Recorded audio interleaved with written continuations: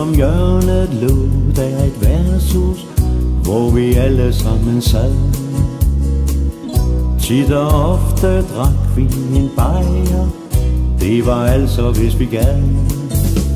Ja, nogle kom alene, og andre det var par. Det bedste ved det hele var, at stemningen var rar. Klokken så blev 11, og alle skulle hjem, var dem, der kom alene, i selskab med en ven. Værshusets ejer hed Rut en pige, altid med et godt humør. Du gik aldrig forkert hvis din lomme den var tør. Jeg havde du problemer, så satte hun sig ned og skænkede dig en dobbelt, så du kunne få lidt fred. Til Rut der kunne du altid betro din bedste ven. Det eneste hun bad om var et lille smil igen. Alle de gode minder, dem har vi, hvor vi alle sammen sad.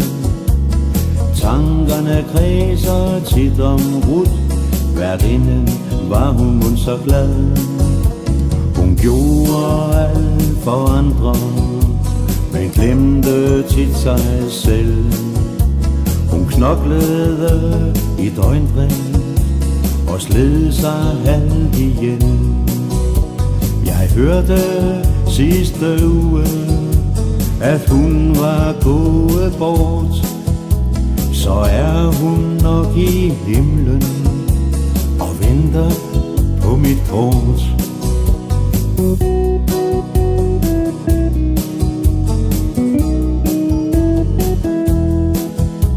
En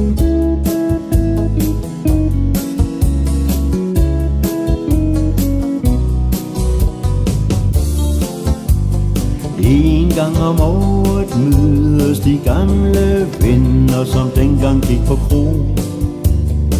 Så er det enten hos John eller Kurt, hvor vi snupper en bajer eller to. Så taler vi lidt om livet, liv som vi har nyt.